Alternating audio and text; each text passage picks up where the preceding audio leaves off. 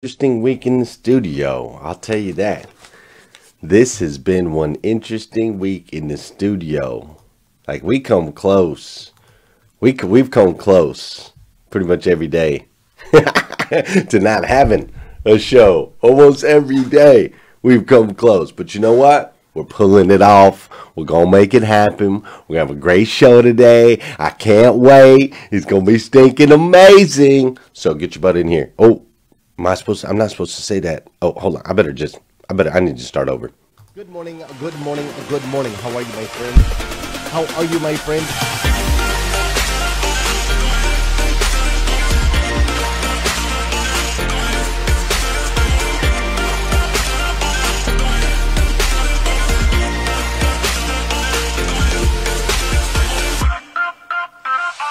See, there's no excuse for you not pushing yourself to the next level. In order for you to create a new you, you must have a new mindset. When teams come together, we can create things that are greater than the sum of all of their parts.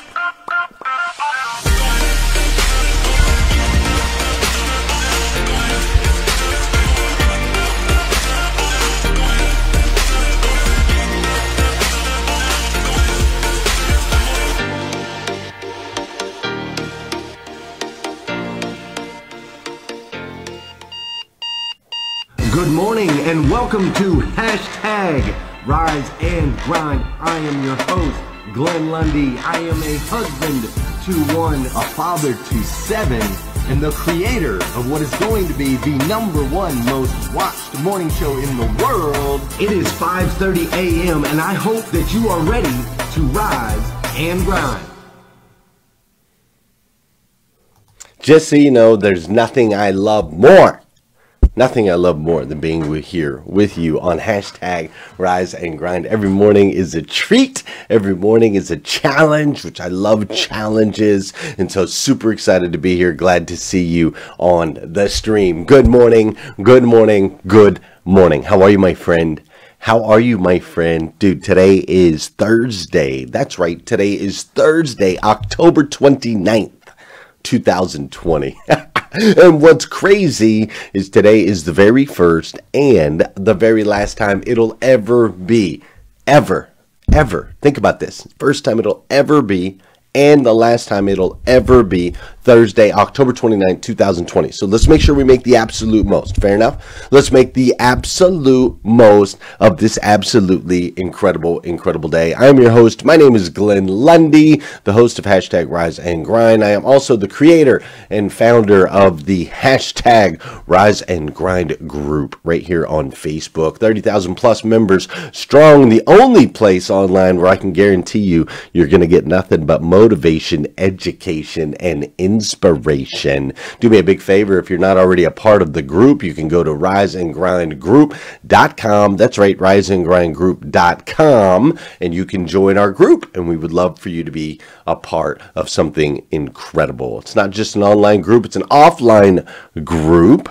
As a matter of fact, right now, as an offline group, we have been raising awareness Breast Cancer Awareness Month. We've been raising awareness for an organization called My Pink Navigator that's run by an amazing woman named Bobby Nihas. So she's got this organization, My Pink Navigator, and what she's been doing is she has created community for women that are battling breast cancer and she helps them feel comfortable. She helps them go through the process. She helps educate them on all the things that they're going to need and to understand and she pulls them them together so they don't have to go through the journey alone with people that don't know what the heck they're dealing with. So, My Pink Navigator, we've been raising money um, for them. We've been selling these awesome t shirts, these Raglans right here, as well as these regular t shirts. Um, I sat with my wife last night, and there are exactly 17 t shirts left. There are 17 t-shirts left, so I'm hoping if you haven't got one already, I hope that you'll go grab one of these t-shirts. You can go to riseandgrindgear.com or riseandgrindoffline.com or go to glennlundy.com. We try to make it easy for you, but we have 17 t-shirts left. If you grab one of those, all proceeds are going to Bobby and My Pink Navigator. We have raised currently over eight $10,000. Thank you for the stars, Anita. We have currently raised over $8,000 to support her amazing ministry. Absolutely amazing what she does. So we've currently raised over $8,000. The goal is to reach $10,000. I want to hand her a big fat check for $10,000. So if you haven't grabbed a shirt, please go grab one or to make it easy, you have a button right there on your feed. If you're watching live on the business page, you can click that button and you can give stars. Those stars go directly to Bobby and My Pink Navigator all month long. So Anita just dropped in 2,400 stars, which we appreciate, Anita. So you can drop some stars, you can buy a t-shirt, you can send me a Venmo if you want, however you want to do it. But ultimately, we're going to reach that goal of 10 thousand dollars and we are so close with just a couple days left. We've got today tomorrow and saturday to take it over the top and i believe that we can do it. This has been a fun uh, week. It's been a really fast month no doubt about that. It's been an incredible year on so many levels and so many facets right? An absolutely incredible year. And today we're going to wrap up this series that we've been in called Haunted House. So we've been in this series all week uh, where is that thing? There it is. We've been in this series all week called Haunted House, and we started off, you know, at first talking about. Thank you for the stars, Emily.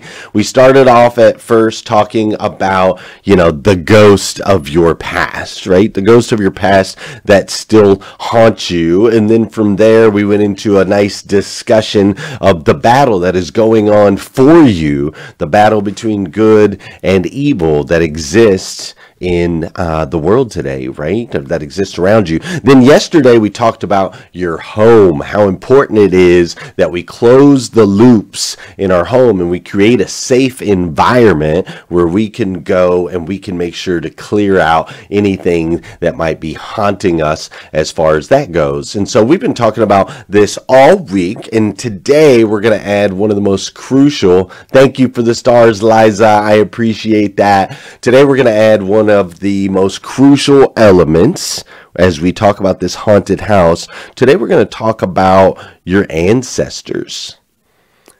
Because, see, your ancestors, where you came from, plays a part. Thank you for the stars, Bill McLean. That's amazing. Plays a part in the mindset and ultimately the beliefs that you have and where you're headed. So, we're going to dive into that today. It's going to be a super fun series. First, however, we got to dance. That's right. That's right. We got to dance. For those of you that know, those of you that don't know, just the part of the show where I need you to hit that share button. That's right. I need you to hit that share button because I believe if we can change the way people start their day, it'll make a massive impact on this planet. I truly believe that. And sometimes all it takes to change the way somebody starts their day is for you. Yes, you, Krista Bug. Thanks for the stars. Yes, you, Brian Edlin. Yes, you, Robin, for you to hit that share button.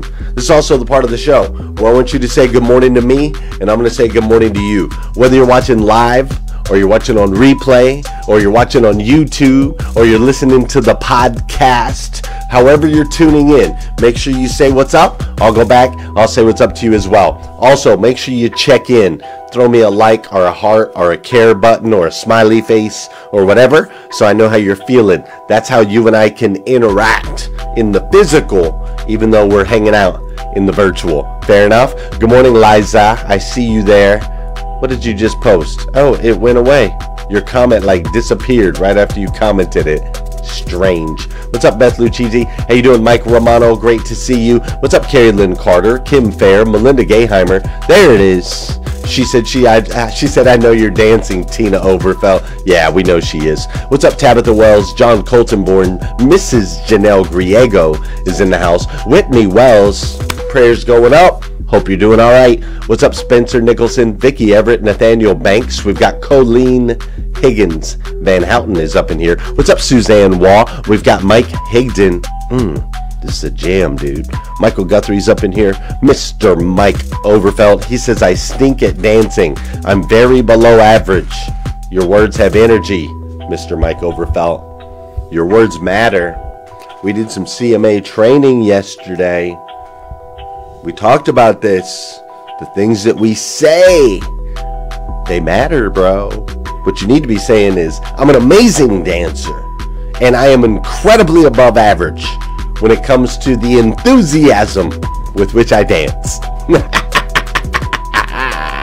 Rick Tamburino, Melvin Rodriguez, Susan Rose, Don Sankey, Bill Schaumburg's up in here this morning, Nancy Andino De Soto. What a beautiful name. I love that. What's up, uh, Melinda? I already said hi, Melinda. How you doing, Emily? Emily's up in here. Emily Galler, of course. Mrs. Amy Bricker. We've got Cindy Conley. Bobby Gladu. Great to see you. What's up, Ray Hatcher? Tina Overfelt. Brad Smith. Everybody's up in here on hashtag Rise and Grind this morning. I love it. You guys ready to dive in? Wrap up this incredible series? Let's do it.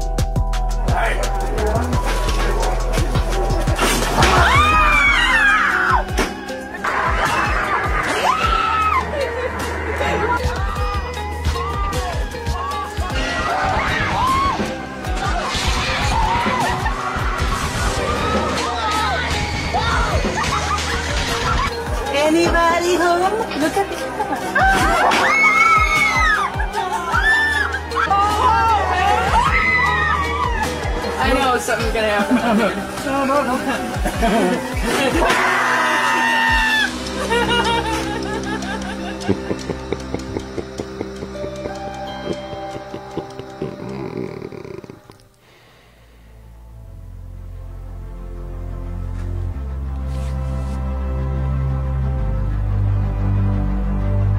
The wolf laying in its den is never as hungry as the wolf fighting to survive. Hungry wolf is bound to wage a harder battle.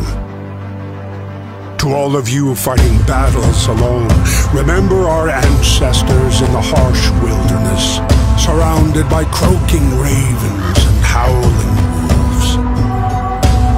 To all of you going against the grain, battling the naysayers, better fight and fall than to live without hope. You might learn to survive let your worries and hopelessness stand in your way. Be mighty and keep strong. Be mighty and keep strong. The long road is hard, but go you must. For he who has traveled far and endure well is led to the greatest end of the journey. Be mighty and keep going. Be mighty and keep going. It will be worth it in the end. Stand by your own trial and not by what others say, the right folk and kin will show up in your life. You won't be a lone wolf forever. So don't look back. Not every cloud which darkens the day brings rain. Look forward to the bright destination of your chosen path. It doesn't matter if you have to walk alone for a while. It is much better to walk alone in the right direction than be the one who waits to be taken like a fox from a trap. Stay strong. Your destiny is in your hands. Get out there and hunt it down. Get inspired with music. In case you were wondering, I have people like that that speak in my mind, in my brain all the time. Like, dude, now you kidding me? The voice on that guy, I wish I had that guy's voice, dude. That, that's amazing. That was incredible. I am so inspired right now. And I've already watched that video like 12 times. But I hope it inspired you as well. But that's what I think about, right? When you think about ancestors and you go back in time, I think of like the Vikings and those that like crushed it and, and explored and navigated and did all of these things so that they could help be a part of creating the world that we're in today, right? I think about the, the, the, the slaves back in the day that fought their way to freedom so that we could create the America that we live in today. I think of these warriors of our past that did what they had to do so that we could have the opportunity to do what we do today. I love it. What's up, Ben St. Hours? How you doing, Sean Jones? Also, I saw you up in here. Great to see you. Right? That video is amazing, right?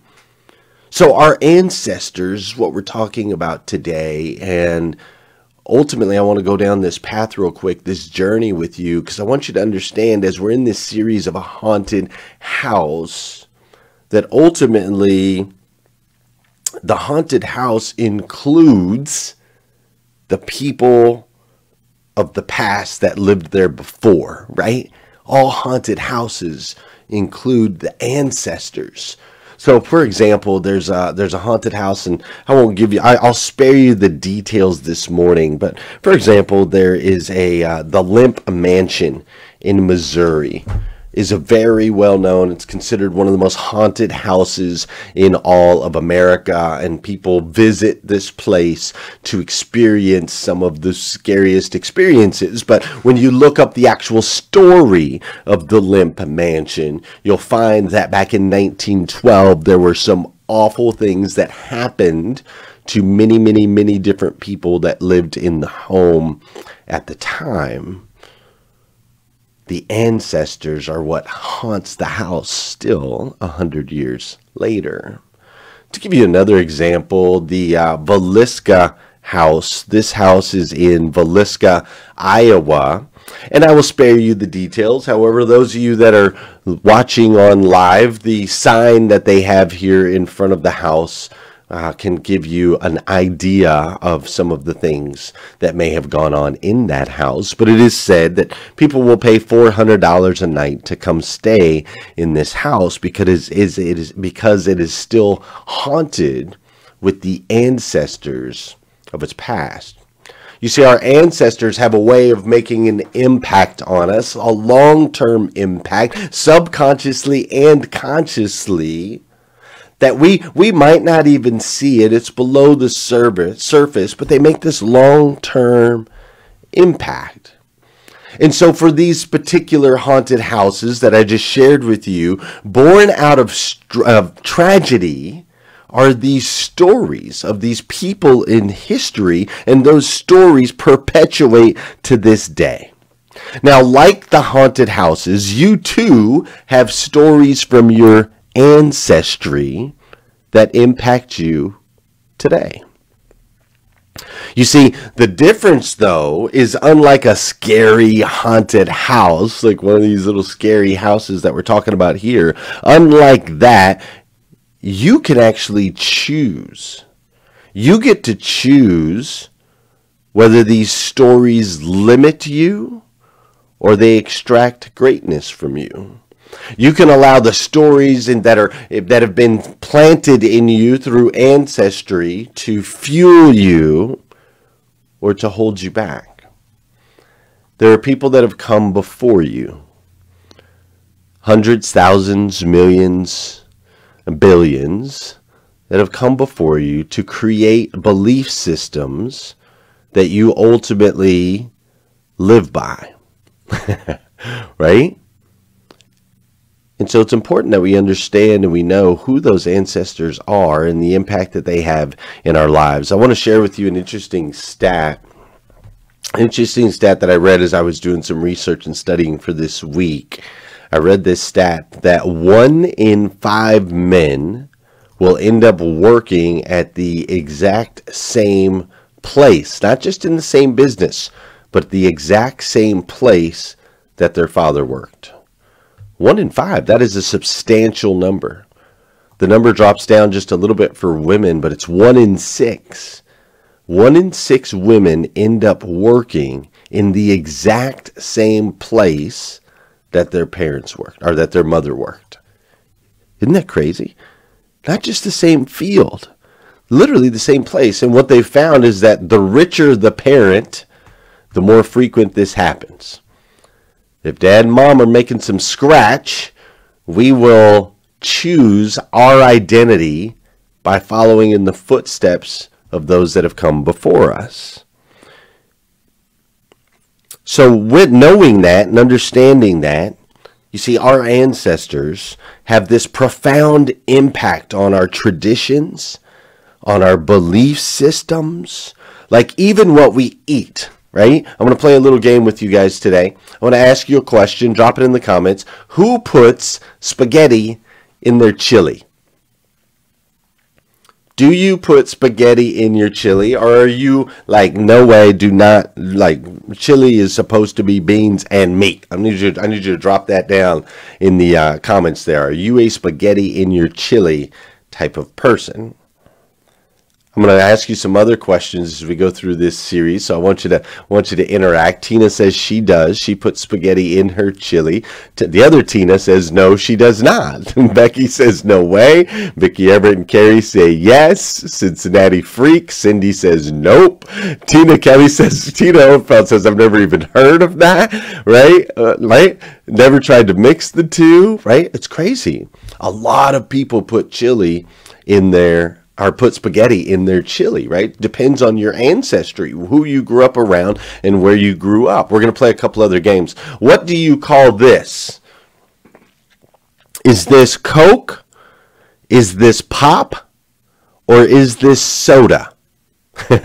Liza said she'd never done that, but her husband and son just did, and she did like. Is this Coke? Is this pop? Is this pop? Or is this soda? Which one is it? Right? Drop it down in the comments. I can pretty much I can predict where you live based on how you respond. Look at this. There's actually a map about this. How you responded can tell me where you grew up. So if you grew up on the western part of the country, you're going to call it soda. If you grew up in the north or the Midwest, you're going to call it pop most likely. And if you grew up in the south, you're going to call it Coke. Isn't that crazy? Three different names for the exact same thing. They say the reason they call it uh, Coke down south is because Coke actually originated in Atlanta. And so that story has had an influence on what people, how people define the exact same product. We're going to drop another one for you. I want you to drop it in the comments. Lots of engagement today. I hope you're awake. I hope you're you're having fun and enjoying this. Do you call this a sneaker or do you call these tennis shoes? Is this tennis shoes or is this a sneaker? What do you call it? Now, again, what you call this tennis shoe is most likely derived on where you grew up. Most of the people in the country, 61% of the people in the country, are going to call it a, or sorry, more than 61%. Most of the people in the country are going to call it a tennis shoe. They're going to call it tennis shoes. But if you come from up north, New England, or the southern tip of Florida, you're most likely going to call it sneakers. Crazy, right? So drop those in the comments. Tina Kelly says tennis shoes. Gail says tennis shoes. Emily says she's all messed up. All, all brown drinks are Coke. she says I've never been to Cali. Most people says tennis shoes. Kim Fair says sneaker. Right? Interesting. All right, we're gonna drop another one here. What do you call this guy right here? What do you call this guy right here? For those of you that aren't watching live, I've got a picture of this bug with the armor on it. Some people call it a pill bug. Some people call it a potato bug. Some people call it a roly poly right? Which one do you call it? Is this a pill bug or a potato bug or a roly poly? Well, the the the research shows that if you lived kind of in the southern uh, hemisphere of the country, you're going to call it a roly poly. If you lived up in the northern parts of the country, you're going to call it a pill bug. And then over on the western north, most farthest north sides, you're going to call it a potato bug. Interesting, right? Crazy crazy how the exact same thing can be called so many different things. All right, last one. Last one. We're having some fun this morning. I got one last one for you. I see Mike Overfelt calls it a potato bug. Danielle Rose calls it a roly poly. Michael Guthrie says roly poly. Don Sankey just says it's a bug. Anita says a water bug or a roly poly, right? Different things, right? All right. Now we got one last one right here. What do you call this guy? Is this a firefly? Or a lightning bug? Which one is it? Firefly or a lightning bug? Your answer is going to come down to typically where you lived. Pretty much from the Mississippi River left, you're going to call it a firefly. To the right, you're going to call it a lightning bug. Isn't that crazy? Now, listen, we're having some fun with this, but see, subconsciously, on a deep level, your ancestors, where you grew up, and the people you grew up around have planted seeds in you. You see, this is why issues like wealth and wealth gaps, right? Wealth gaps and racial inequality, systemic racism. This is why these things are so hard to battle. They're so hard to battle because literally your experiences, your ancestors have planted seeds. You didn't, they did not, not, not in a hateful way, not in a vengeful way, not in a meaningful way, just belief systems that get passed down depending on where you live. It's a firefly, it's a lightning bug, it's Coke, it's soda, it's pop, it's spaghetti in your chili, or it's not. All of these little things get captured, they get passed down all the way through from generation to generation, ultimately becoming the narrative, your narrative. Now, is the narrative that you've been told over generation and generation and generation serving you well? If it is serving you well, then that's great. The ancestry is working for you. However, if the narrative is not working well, if you are not happy with the results that you are getting in your life, it may come down to the seeds that have been planted in you, and we need to do something about that. You see, how you were raised, how your parents were raised, how your parents' parents were raised, and even where they were raised is ultimately determining the stories that you're telling yourself. But are they true? So ultimately, if the current stories that your ancestry has planted those seeds inside you are holding you back, how do you change that? How do you change that story, right? If you don't if you don't like where you're headed, how do you do something about it? And this is where this is where the cool thing comes in. You didn't get to choose your ancestors directly, but you can actually choose to borrow other people's. you see, studying those that have reached the places your heart desires can ultimately change the narrative that you that, that has been planted in you over generations and generations and generations. For example, maybe you need to go study Emma Watson, right? You guys know her as, as Hermione from the Harry Potter series, but she's actually a huge activist over in her country, leading rallies and campaigns and changing the landscape of the entire government over there. She's an incredible incredible human being. Maybe you need to go into um, uh, the ancestry and, and, and, and dive into Martin Luther King and how he used words in such a powerful way to be able to create movements on this planet and shift the overall narrative. Maybe it's Iyanla Vanzant that you need to jump in and follow and see if she can serve something or stir something into your soul that is going to extract the greatness that exists inside you. Maybe it's Jim Rohn. Maybe you need some better financial understanding or some financial awareness. Maybe you were taught some things that aren't true, like there is a lack of money in the world and that you can save your way to financial freedom. Maybe you've been told some untruths. The, those seeds have been planted. You need to shift it. You see, listen, ultimately, we all share one ancestor. You see, you, me, John Colton Board, Vicki Everett, Marilyn Wilkins, Dude, this hoodie is dope. Why did that freeze? This hoodie is dope, just so you know. It's one of the new ones that's coming out. I know I'm like getting sidetracked, but like it's just got the rise and grind kind of faded in there, right? Like you can barely see it. See what I'm saying? It's dope. Now I'm getting a lag on that camera for some reason after it froze up. But anyways, listen, we share the same ancestor. I say cart, says Melinda Dude, this is dope. Wait till the new line comes out here in a couple days. Dude, you're all children of God, man. Terry Collins, Rick Tamburino, Amanda Sanner. You see, we're all children of God. We all share the exact same ancestor, the creator of the universe, the one that created everything. And as children of God, ultimately, you do not have to, you do not have to live with the narrative that was given to you in your direct bloodline. No.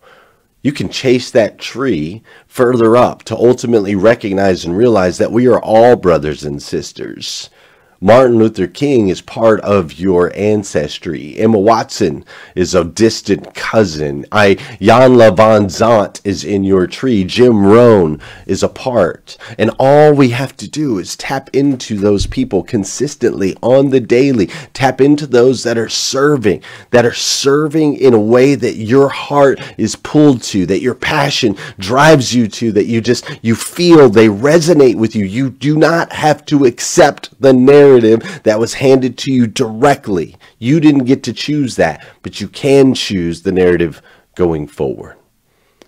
Your choices, your decisions that you make, they matter. Because, see, as a child of God, you have the ability and a responsibility to make an impact in other people's lives. And that's what happens. Every decision you make makes an impact on your friends, on your family members, on your coworkers. You showing up here today made an impact on me. And I, for one, absolutely love you for it. If nobody's told you that yet today, I want to be the first. I absolutely stinking love you. Listen, I apologize for going a minute or two over. I hope you can bear with me. But listen, if you need more videos like this, you can go to glennlundy.com. There's a bunch of them up there. All right? You can go there if you need more videos. If you haven't grabbed your t shirt yet, go get one. I got 17 left. Let's support Bobby I would greatly appreciate it. But most importantly, most importantly, I want you to go out there and have an amazing day today. One of those over the top, amazing, like just incredible days, right? Have an amazing day today. And then come back here again tomorrow morning at 5:30 a.m. Dude, tomorrow's episode, Albert, my man Albert, dude. you want to talk about a guy who's got a story? And completely shifted the narrative. I mean, this kid, wow. That's all I can say. So come back here again tomorrow morning, 5.30 a.m. We'll do this all over again on hashtag Rise and Grind. Have a great day. See ya.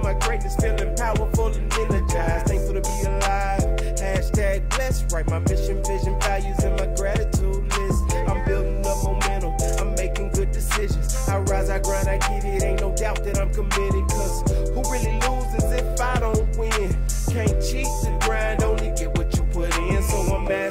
I'm focused on my physical. I'm developing spiritually and manifesting miracles. I'm gonna get it started, have a party in the morning. And I'ma wake the world, is so alarming. I hashtag rise and grind, hashtag rise and grind.